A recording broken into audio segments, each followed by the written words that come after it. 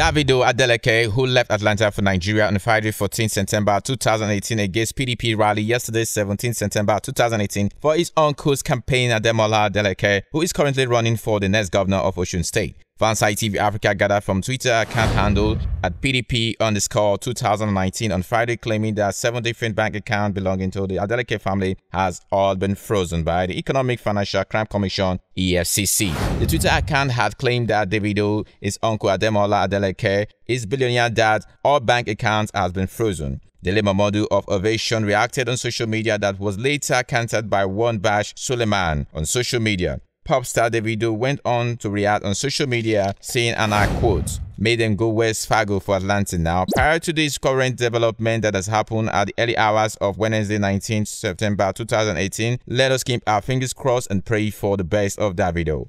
For more on update, follow us on online TV, www.fansitetvafrica.com.